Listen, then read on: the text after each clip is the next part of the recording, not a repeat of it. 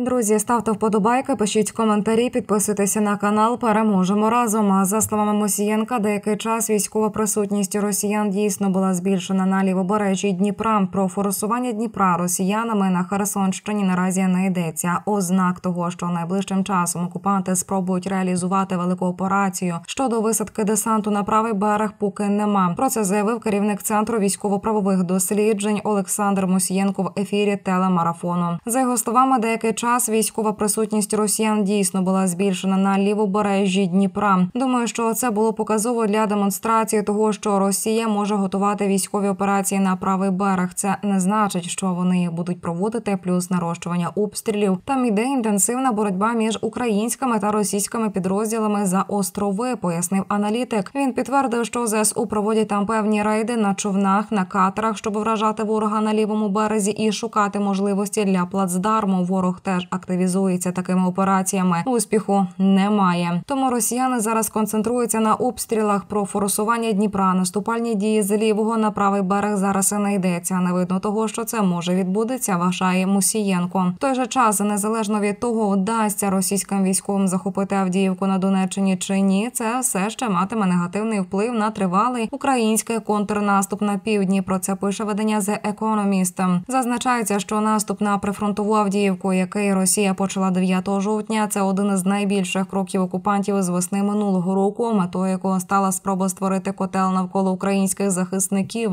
і змінити наратив війни на такий, в якому ініціатива знову переходить до Росії. Без сумніву, Росія виділила значні ресурси для цієї операції. Українські чиновники стверджують, що до Авдіївки було перекинуто до трьох батальйонів. Їх підтримують танки, БМП і літаки, що запускають на відстані високоточні керовані планерні бомби. Подібно до того, як Україна влітку виявила, що прорвати добре підготовлену оборону надзвичайно важко. Так само і росіяни, схоже, були жорстко покарані за свій штурм Авдіївки. Пише за економіст. Там додають, що територіальні здобутки Росії поки що оцінюються у менш ніж 5 квадратних кілометрів. За економіст допускає, що гіпотетична втрата Авдіївки стала б ударом по українському бойовому духу, як і Бахмут до цього. Місто стало своєрідним символом українського опору. Воно вистояло проти восьми років періодичних нападів російських сил. За останні 18 місяців Авдіївка витримала серію штурмів і масованих артилерійських обстрілів. У квітні російські спроби оточити місто лише частково увінчалися успіхом. У відповідь Україна відправила резерви у цей район, і створила нові добре укріплені оборонні позиції. Вони розташовані поруч з 200-метровим теренконом, створеним Авдіївським